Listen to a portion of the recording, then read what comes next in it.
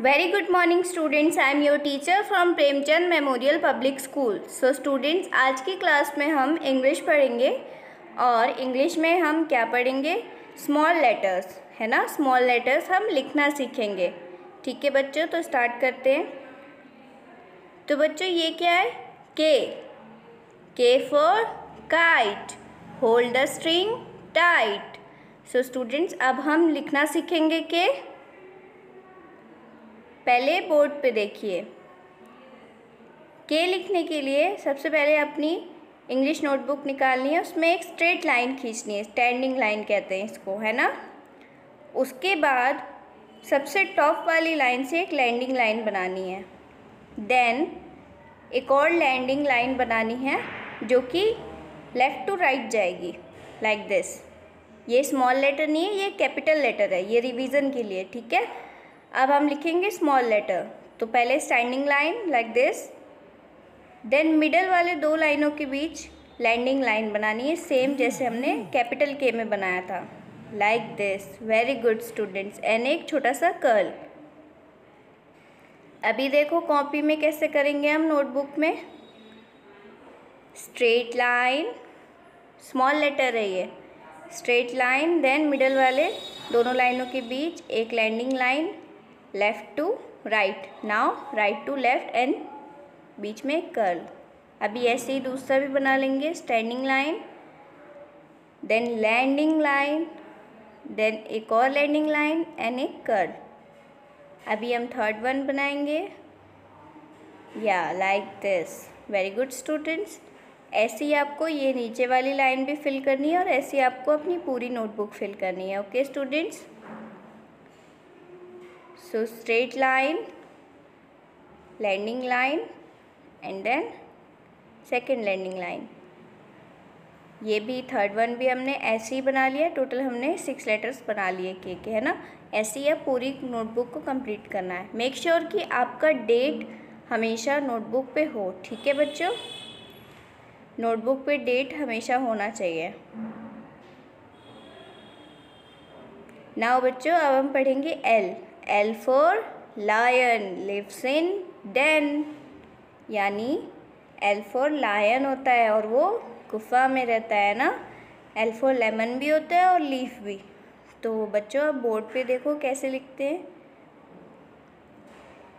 हाय मैं हूँ एल अभी देखो कैसे लिखेंगे।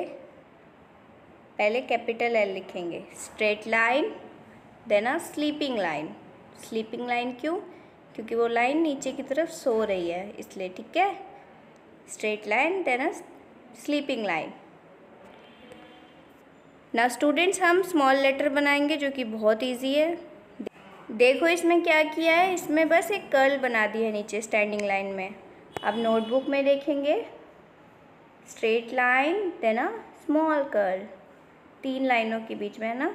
पर हम दूसरे तरीके से भी बना सकते हैं और वो बहुत ही इजी तरीका है। लुक नीचे से ऊपर तक एक कर्वी लाइन बनानी है देन उसको फिर से क्रॉस कर देना है like this okay two steps में बन जाएगा one two one like this two one two very good date इस पेज पे भी डालना है आपको। या very good like this okay, अब पूरा पेज आपको ऐसे ही फिल करना है। ना स्टूडेंट्स ये क्या है?